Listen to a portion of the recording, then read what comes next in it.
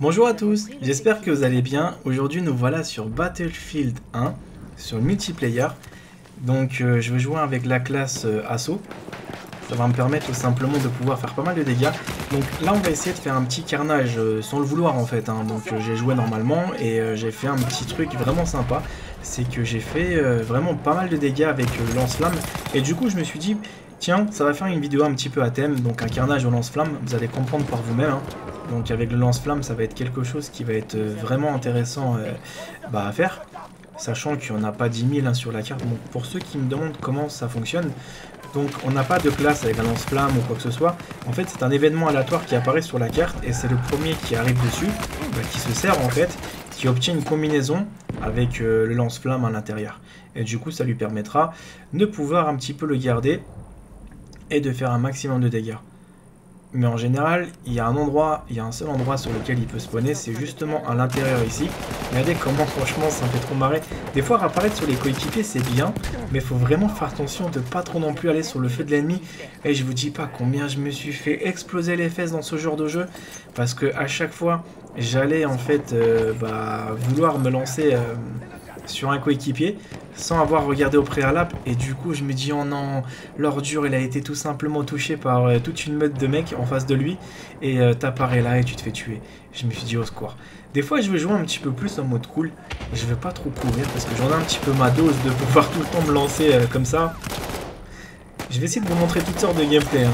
Mais alors des fois j'ai franchement envie de plus bouger hein.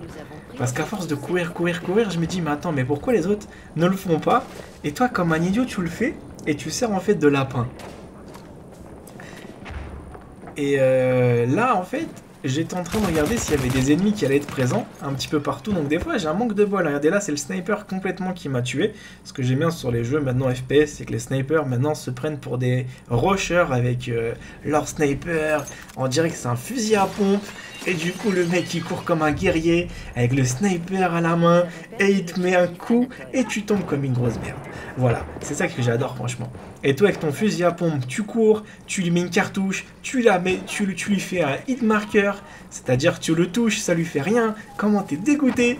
Parce que toi, tu es avec un fusil à pompe et un fusil à pompe, ça doit pas être au corps à corps, t'as l'impression. Ça doit être euh, en mode décoration. Ils aiment bien en fait être beaucoup dans le, dans le moulin ici. Donc c'est une carte qui est vraiment intéressante. Je suis mort de rire des fois les modes que j'ai pu faire. Ah, un kit de lance-flamme, regarde bien. Je savais même pas qu'il était là. Je vois sur la carte, regarde, il est en train de s'allumer. Le lance-flamme. Et là, je me dis, waouh, c'est trop bien. C'était mon premier. hein. Et euh, j'ai décidé tout simplement de le garder. hein. c'est très efficace. Ça a une portée euh, vraiment impressionnante. C'est, euh, je dirais, c'est une arme très efficace, très redoutable. Parce que, vous voyez, de là, je peux tirer justement jus- jusqu'à la grange, limite, tout au fond. Et ça va toucher quand même quelques individus. Après, pour pouvoir se régénérer, vous pouvez complètement oublier. Vous allez dire, mais comment ça? Bah, à moins que vous avez un coéquipier à côté de vous qui a un kit de soins, qui va tout simplement venir vous passer un petit coup de main, vous soigner, là, vous avez la possibilité de vous régénérer au niveau de la santé. Sachant que moi, je joue en mode sans amis, d'accord? J'ai personne qui est à côté de moi ou qui va m'écouter ou qui va me donner un petit peu euh, des soins, sachant qu'ils jouent tous avec des classes de bourrin. J'ai vu très peu pour l'instant dans cette partie-là, en tout cas, euh, d'infirmiers. Donc là, on peut voir en fait dans mon équipe, hein, j'ai euh, un mec au sniper, un mec avec des munitions. Voilà. Donc un mec au soutien, un mec, un éclaireur. Donc j'ai pas vu forcément de, de médecin.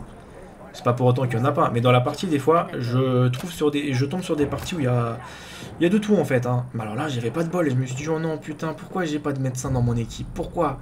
Eh ben non, tu peux toujours rêver. Donc là, je me suis soigné. C'est miraculeux en fait. Donc finalement, tu te soignes au bout d'un certain nombre, au bout d'un certain moment. Tu vois, je viens de l'apprendre à l'instant. Je pensais que c'était que le médecin qui pouvait me soigner. Et ben non, en fait, ça m'a soigné naturellement. Ok, bon bah, je retire ce que j'ai dit finalement. Donc là, je m'amuse un petit peu à temporiser. Dans un autre langage, on appelle ça un compère. Et dans le langage plus civilisé, on appelle ça un temporisateur. Et dans mon langage à moi, on appelle ça un guetteur. Qui attend tout simplement euh, de voir un Allemand et de tout simplement lui dire bonjour avec le feu. C'est tout. Non mais des fois, euh, vous croyez pas que je vais courir avec un lance-flamme. Pourquoi je cours pas avec un lance-flamme? C'est simple. Si vous avez un lance-flamme, Il y a deux possibilités. C'est soit vous allez rusher avec, mais d'un côté, vous allez vous faire repérer comme une cible super facile. Et euh, votre euh, lance-flamme, ne l'oubliez pas, c'est considéré un petit peu comme un fusil à pompe. La portée n'est pas non plus très grande. Je peux toucher jusqu'à la grange, mais du coup, je veux lui faire 1% de dégâts. Et si par exemple, je neutralise quelqu'un, bah, justement, que je suis en train de voir en bas, Regardez la poisse avec la grenade. Hein. J'étais dégoûté. J'étais dégoûté. Je me suis dit, mais c'est quoi ça? J'ai lancé la grenade, le mec est parti, je l'avais après. Donc je vous disais, la, barrière, c'est à partir de ce moment-là que je peux tout simplement neutraliser euh, les Allemands. Un peu plus loin, ça devient un peu plus délicat. Donc courir avec un, lance-flamme, il faut être vraiment motivé. Et en plus, ça court très peu parce que t'étais très lourd en fait. T'es limite un mastodon. Donc euh, taper des sprints avec ça, hmm, vraiment, vraiment être un peu fou. Là, j'ai pas de bol parce que mes grenades, je les lance vraiment comme une merde. Comme on peut voir, je les lance toujours en retard. Et là, vous allez dire, mais Body, mais qu'est-ce que t'as foutu comme connerie? Bah écoute, j'attends euh, j'attends l'Allemand qui est, pressé de venir, en fait, euh, me rendre visite. D'habitude, ils sont toujours ici, hein, en train de, euh, de squatter, en fait, le moulin. Je comprends pas pourquoi ils étaient pas là. Donc la durée du lance-flamme, c'est simple. C'est que vous allez avoir la possibilité de le conserver tant que vous mourrez pas, en fait. Après, il n'y en a pas un autre qui va apparaître sur la carte. Et là, je me suis dit, c'est l'occasion rêvée de courir. Je vais tout simplement asperger les nazis avec mon lance-boubou. Regarde, il n'y a personne. J'étais dégoûté. Je me suis dit, mais attends, mais c'est une farce ou quoi? Donc le premier, on va le neutraliser ici. Cuis bien.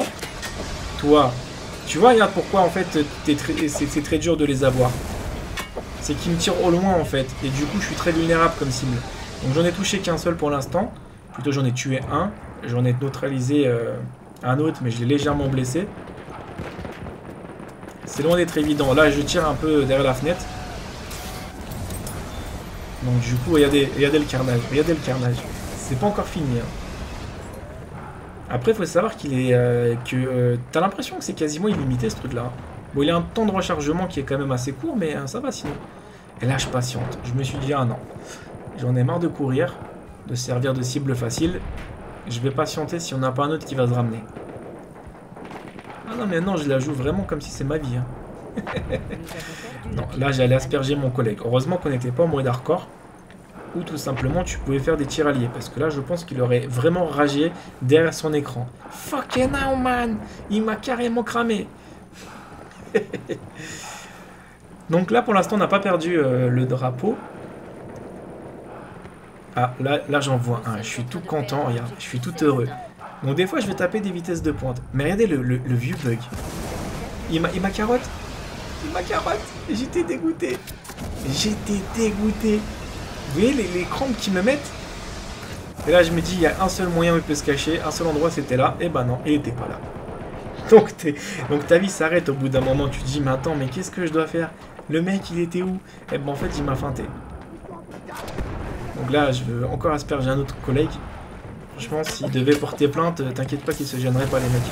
Je sais pas qui m'a tiré dessus, mais euh, du coup j'asperge. Tiens, il était juste derrière. C'est cool. Non, franchement, c'est très efficace. Hein. En plus, j'ai été pourvu.